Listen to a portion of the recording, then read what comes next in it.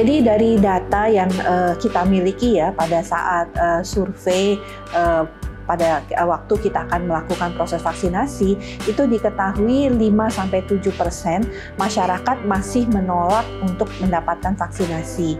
30% eh, itu kemudian masih ragu-ragu ya. Tapi saat ini sudah sangat berkurang ya kalau kita melihat antusiasme daripada masyarakat untuk mendapatkan vaksin itu luar biasa. Bahkan sekarang kita kan memang belum ya memulai vaksinasi untuk di bawah usia 60 tahun, tapi masyarakat uh, terus bertanya kapan uh, bisa mendapatkan vaksinasi untuk uh, yang usia di bawah 60 tahun. Jadi kalau kita melihat antusiasme ini cukup besar. Tapi untuk yang menolak ini memang masih uh, menjadi tantangan kita. Yang pertama adalah mereka masih mempertanyakan terkait keamanannya.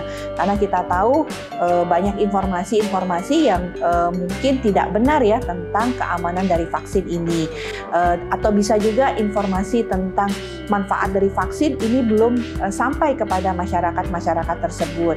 Yang kedua adalah terkait kehalalannya.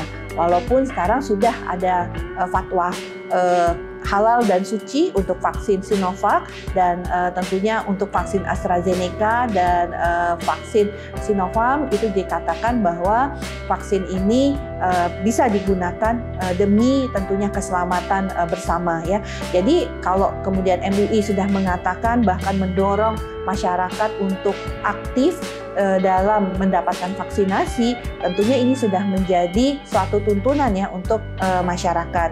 Nah, yang ketiga adalah uh, masih ragu-ragu ya untuk mendapatkan vaksinasi karena uh, kemarin uh, dikatakan juga sempat uh, tidak boleh mendapatkan vaksin pada saat kita sedang berpuasa.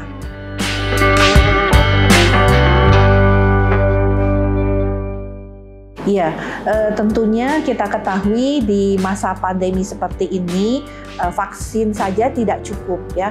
Kita tahu bahwa kan e, sampai saat ini penyakit virus COVID-19 ini belum ditemukan obatnya ya. Sehingga cara yang terbaik untuk kita tidak tertular atau menjadi sakit adalah mencegahnya.